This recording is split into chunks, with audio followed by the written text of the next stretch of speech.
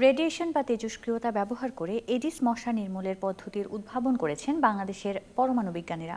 পরমাণু শক্তি গবেষণা প্রতিষ্ঠানের বিজ্ঞানীরা বলছেন, গবেষণাগারে এই প্রযুক্তি ব্যবহার করে তারা শতভাগ সফলতা পেয়েছেন। প্রয়োজনীয় সহায়তা নিশ্চিত করা গেলে মাঠ পর্যায়ে দ্রুতই এর বাস্তবায়ন সম্ভব। দেখুন শাহ আলী জয়ের রিপোর্ট। এডিস মশা। দেশ জুড়ে এখন এক আতঙ্কের নাম। এর কামড়ে ডেঙ্গু জ্বরে আক্রান্ত হয়েছেন হাজারো মানুষ। জীবন হারিয়েছেন অনেকে। প্রথম দিকে রাজধানীতে এর প্রাদুর্ভাব দেখা দিলেও আস্তে আস্তে ডেঙ্গুর প্রকোপ ছড়িয়ে পড়েছে সারা দেশে।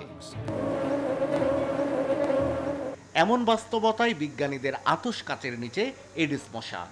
সাভারের পরমাণু শক্তি গবেষণা প্রতিষ্ঠানের বিজ্ঞানীরা তেজস্ক্রিয়তা ব্যবহার করে সক্ষম হয়েছেন এডিসের প্রজনন বন্ধ করতে। এর ফলে প্রতিষ্ঠানটিতে প্রায় বারো বছর ধরে চলা গবেষণা সফল হলো। গবেষণায় পরিষ্কার হয়ে গেছে এটা সম্ভব।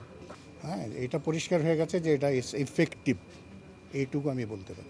এই পদ্ধতিতে পুরুষ মশার ওপর বিজ্ঞানীরা রেডিয়েশন দেন। এতে আক্রান্ত পুরুষ মশার মাধ্যমে স্ত্রী মশা যে ডিম উৎপাদন করে তা থেকে আর নতুন মশা জন্মাতে পারে না। এডিসের নিধনে বড় পরিসরে এই কাজ করতে চান তারা। তাদের কাজটা তারা করেছে এখন কিন্তু এটা সরকার সরকার প্রোগ্রামের মধ্যেই নিতে হবে। এবং সেটা মূলত ধরেন আমাদের মন্ত্রণালয়ের তারপর প্ল্যানিং মিনিস্ট্রি তারপর আপনার ফাইন্যান্স এদের সবাইকে নিয়ে এখন আমরা বৈশা অন্তত আমি বলতে পারি যে আমি চেষ্টা করব যাতে এটা যত তাড়াতাড়ি এটার জন্য যা প্রয়োজন আর কি যেগুলো সেগুলো যাতে ব্যবস্থা আমরা করে দিতে পারি। গবেষণার সুফল তৃণমূলে পৌঁছে দিতে সরকারের সহযোগিতা দরকার বলেও জানান বিজ্ঞানীরা। আপাতত আরও কিছু স্টাফ এবং সায়েন্টিস্ট দরকার।